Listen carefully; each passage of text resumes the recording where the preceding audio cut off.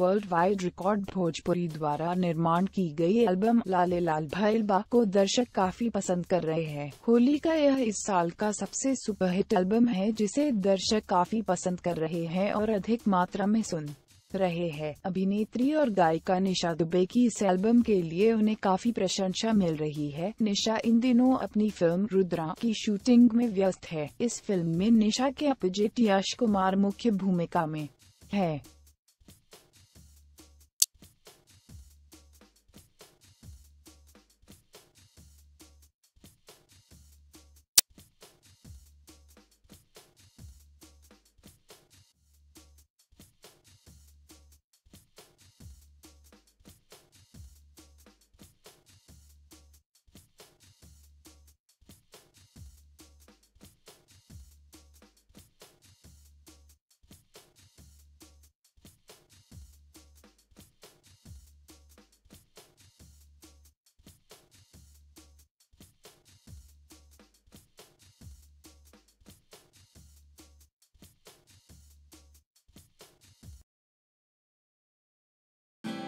Bhojpuri industry की चटपटी खबरों के लिए सब्सक्राइब करें भोजपुरी मीडिया।